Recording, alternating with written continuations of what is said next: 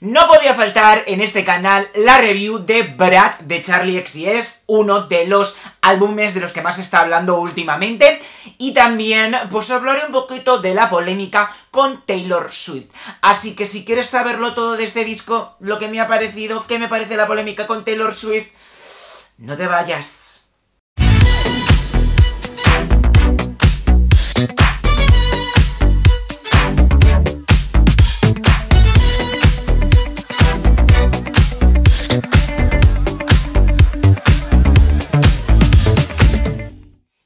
Charlie XCX, eh, yo la he escuchado, no soy mega fan, pero sí que hay discos que he escuchado bastante, otros, los más quizás alternativos, no es mi taza de té, pero este Brad tenía muchas ganas de que llegara, cositas que habíamos podido escuchar me gustaban, así que lo esperé con ganas.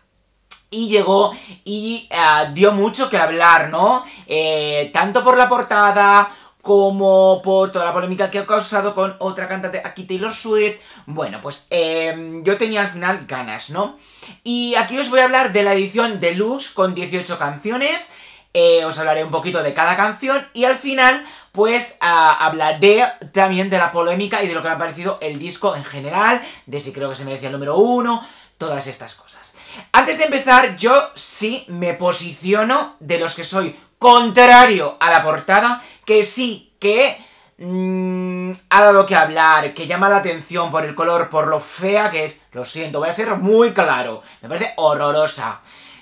Que ahora parece ser que es una obra de arte, que, que, sí, que todo lo que queráis. A mí me parece horrífida. Que tendrá su sentido por lo... Mm, todo lo que quieras. Yo lo compro. Pero me parece horrorosa. Eh, pero bueno, esa es otra cosa, y al final solo es una parte visual, pero sí, me voy a aclarar, porque ahora parece ser que si no te gusta la portada es que no, entiendes de nada, no. Que tendrá todo el significado del mundo que quieras, pero oye, que puede tener significado y parecerme horrorosa. Ya me pasó eso en... Eh, This Way, de Lady Gaga. Pero bueno, fuera de todo eso, vamos ahora sí que sí, canción por canción, que son muchísimas, y vamos a empezar con 360 como las actrices de Paquita Salas.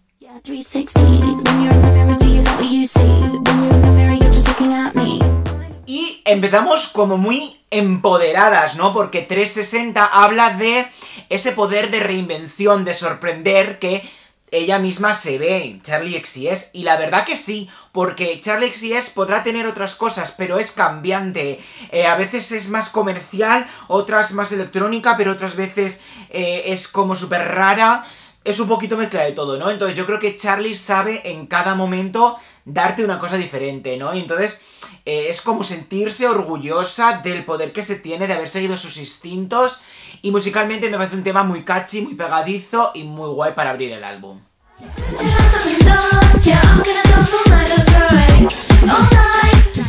Club, club, club, ah. club Classics eh, la segunda canción es como una oda, ¿no? A la música de club, ¿no? Además, bueno, también eh, hace referencias en la misma canción a cantantes como Sophie, ¿no? Tristemente eh, fallecida hace unos años. Em, y es em, un reflejo también en el tipo de canción que es, ¿no?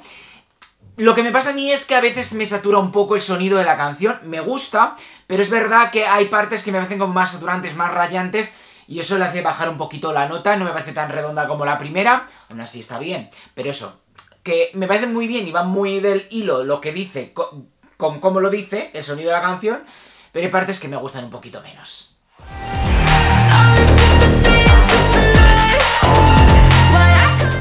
Y llegamos a Sympathy is a Knife.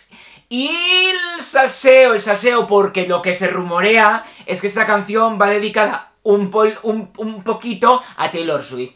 No me voy a meter en si creo o no, porque no me considero conocedor exacto, ni yo gran conocedor de, ni de Charlie, ni de esto. Pero sí es verdad que la letra habla de cierta persona que hace sacar tu inseguridad, ¿no? ¿Podría ser esa persona Taylor Swift? Ah, no sé. Sí que digo que la canción me parece un temazo que me gusta mucho cómo juega Charlie con su voz, lo bien que queda con la base, y me ha parecido un puntazo dentro del disco.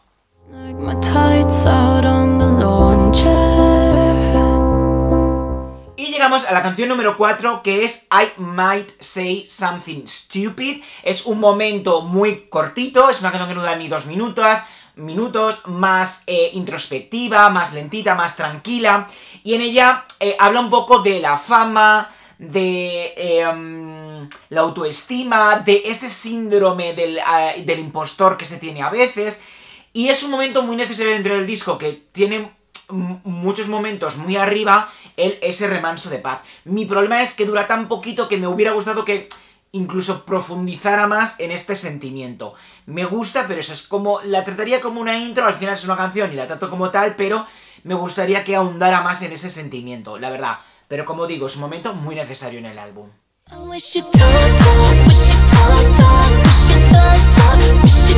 Llegamos a Choc Choc, y es uno de los momentos, para mí, más pop, más catchy, más comercial dentro del álbum. Y yo estoy in. Ya os lo digo. Um, y el tema, yo lo interpreto como esa frustración que se tiene en una relación cuando ves que la otra persona mm, está pero no está, notas esa distancia, notas que no da tanto como debería. Mm, para mí es un bopazo, súper pegadizo, el estribillo es la caña y yo estoy dentro, estoy dentro.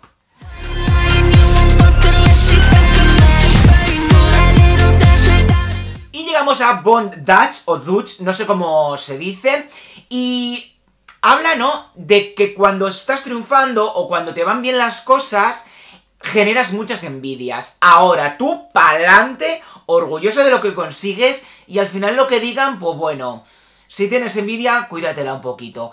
Y es otro de los momentos, como el anterior, también más pop, más pegadizos. Mm, y no sé, me parece un temazo máximo dentro del disco, ¿no? Está como en el corazón. Y yo estoy también muy incómodo con el anterior.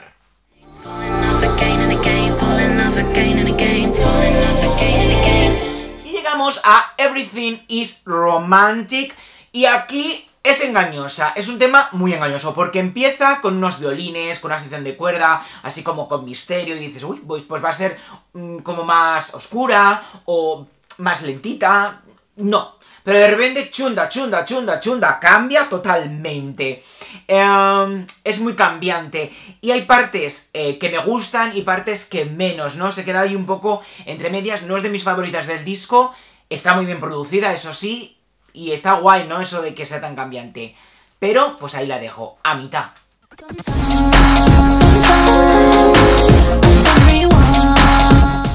Rewind es la canción número 8 y... Mm, ¿Tú sabes eso de querer retroceder en el tiempo? Para una parte, para poder cambiar cosas que hagan que en la actualidad, en este caso Charlie, eh, en sentirse más segura de sí misma eh, en el momento actual, ¿no? Pero también un poco viajar al pasado y recordar esos momentos en los que todo era más fácil, hacer referencia pues eso, a su adolescencia, que al final es una parte, o adolescencia o niñez, tal, ese punto en el que no tenías que pensar tanto las cosas, vivías y ya está. Y musicalmente es de las que a primera escucha más me llamó la atención, también es bastante pop, eh, y no sé, me encanta.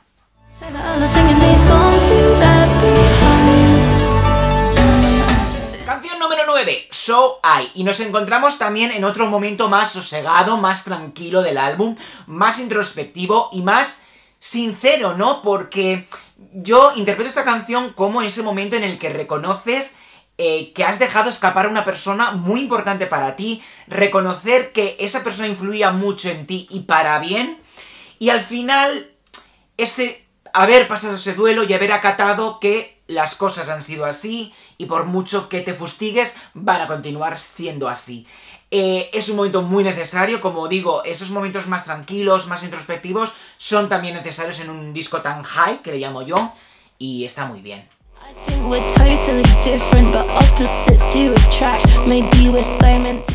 Tema número 10, Girl So Confusing, y habla un poquito de, pues, eh, el mundo femenino, ¿no? Y de lo confuso que puede ser en el mundo actual eh, vivir siendo mujer. También las amistades entre mujeres, a veces esa rivalidad, no sé, que es muy difícil ser mujer, y yo creo, no soy mujer, no puedo estar en su piel, pero yo lo entiendo. Mi problema es que a pesar de que me gusta, que refleja muy bien eh, eh, lo confuso que es ser mujer, no por así decirlo, Es muy confusa la producción, es muy cambiante, es muy rayante para mí y no he terminado de conectar con ella. A pesar de que me gusta lo que diga, musicalmente no me ha gustado del todo.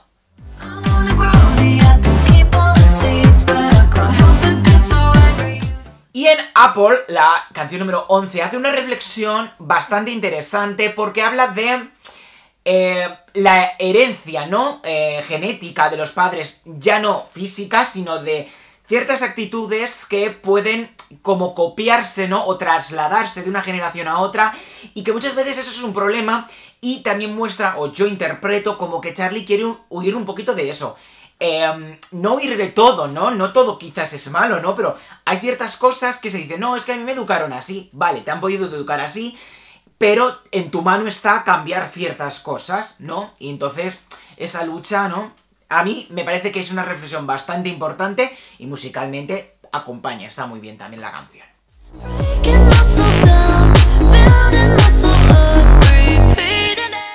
Vamos con B2B, Back to Back, imagino, por la letra, y no me gusta. La canción, tengo que decirlo, es súper rayante, hay una parte que me produce hasta dolor de cabeza, y nuevamente, como pasaba con Girl So Confusing, pega muy bien con lo que habla la canción, ¿no? Porque habla de estar en un bucle, en una relación, que sabes que no te conviene, que, que eh, eh, tienes que huir de ahí, y es volver otra vez, y volver otra vez, y entras en un bucle. Y esto se refleja en la producción de la canción, pero como a mí me raya tanto, lo siento, pero esta canción no me ha gustado.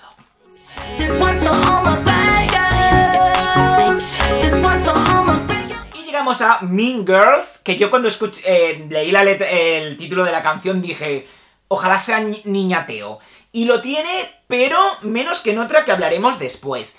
Y es una oda, pues eso, las chicas rebeldes, a las que hacen lo que quieren, las que siguen su camino y ole, ole ellas. El estribillo me gusta mucho. Es verdad que hay partes que se me hacen algo repetitivas y luego el piano final ese que meten a mí no me convence del todo.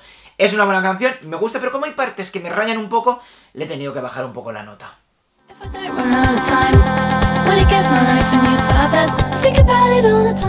llegamos a I Think About It All the Time y lo encuentro como otro de los momentos introspectivos del álbum, quizás no tan lento como I might, I might Say Something Stupid, pero sí de los profundos en cuanto a lírica, ¿no? Porque yo creo que es una reflexión a cómo puede cambiarte la vida, ciertas eh, decisiones que tomas, eh, sobre todo, por ejemplo, en el tema de la maternidad en la mujer, cuando quizás apuestas por modo de vida que dejas de lado un poquito la maternidad, lo que puede suponer, el querer, no querer, etc. No me ha gustado del todo. Sí, líricamente y lo que supone y el eh, em, momento del álbum, pero sí es verdad que musicalmente no me aporta gran cosa.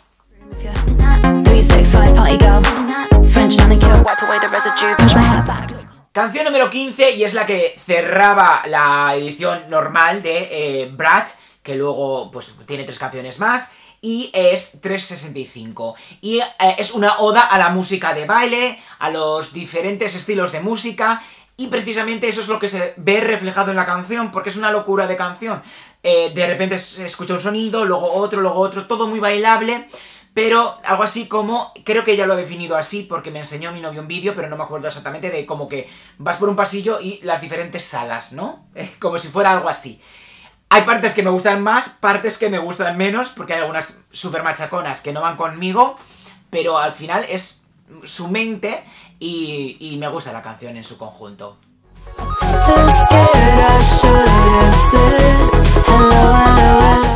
Y la primera de la edición deluxe es Hello Goodbye, y es muy cotidiana, ¿no? Porque yo la interpreto como esa primera cita en la que por una parte quieres adentrarte en la otra persona y de ahí el hello, ¿no?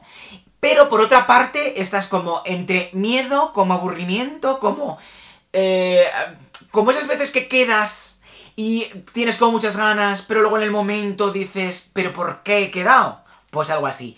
Me parece un hit pegadizo, el estribillo es súper chulo. Genial.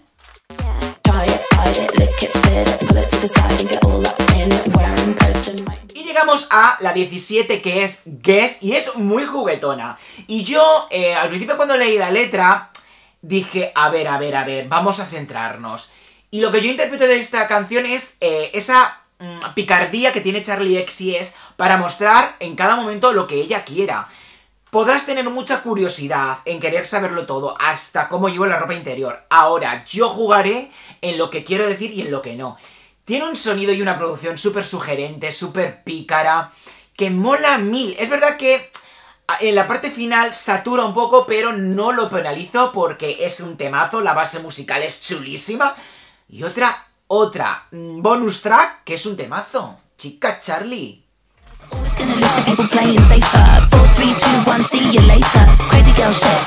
Y llegamos al final con Spring Breakers. Y ahora sí que sí, lo que he dicho de Mingers, que esperaba que fuera el niñateo, pues aquí se viene el niñateo, el niñateo de verdad. Suena niñata total, quizás no es la canción más profunda, pero cómo me ha encantado. O sea, me parece un puntazo, es irreverente, es diferente, quizás no tiene que ver 100% con el núcleo del álbum y por eso es un bonus track, no lo sé, pero a mí me ha encantado, me ha impactado.